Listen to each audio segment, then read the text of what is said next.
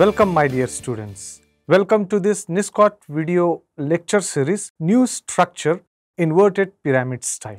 In general, news stories are organized using the inverted pyramid style in which information is presented in descending order of importance.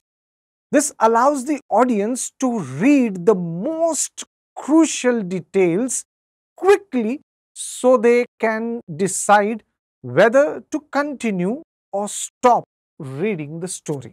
Inverted pyramid is a pyramid upside down. That means the wider section of the pyramid goes up and the narrowing section of the pyramid is down.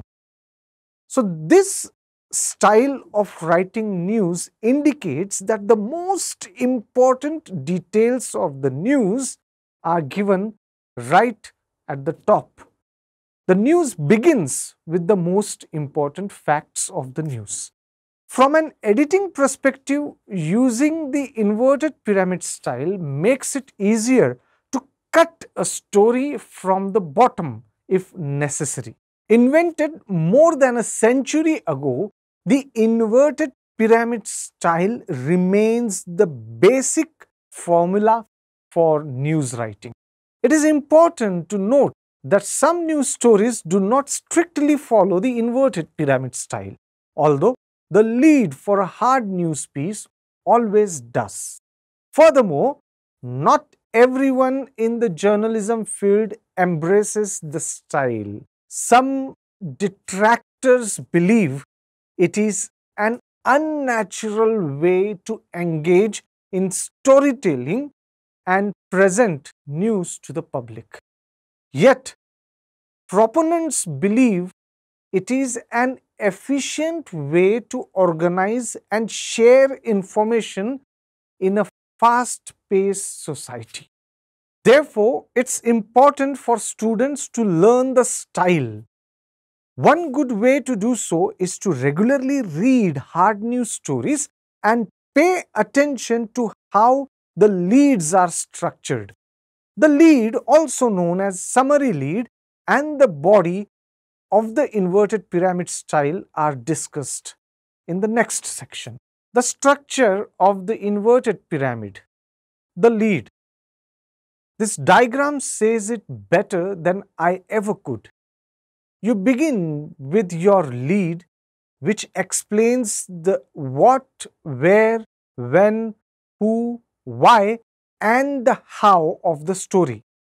This is where you paint a short picture about your story and include the critical piece of information that will keep readers reading.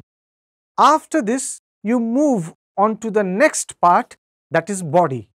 Here, you build your argument and make your points. Provide more detail throw in some quotes, add in your journalistic opinion to create a little controversy. Whatever it is, this is your main story. The next part in the inverted pyramid style is the tail. Finally, you end on the tail. If the reader wants to do more research or find out more about what you are writing, where should they go? Provide this extra reading last. The benefits of the inverted pyramid. Given that the inverted pyramid was invented more than a century ago, it still plays a large role in blogging, news writing and reporting. There are many contemporary reasons for this. We live in the age of short attention spans and skim reading, the inverted pyramid doesn't bore the reader. It gives them what they want straight away. By front loading your article, you put your most relevant few sentences and keywords at the top of your article, which benefits your search engine optimization.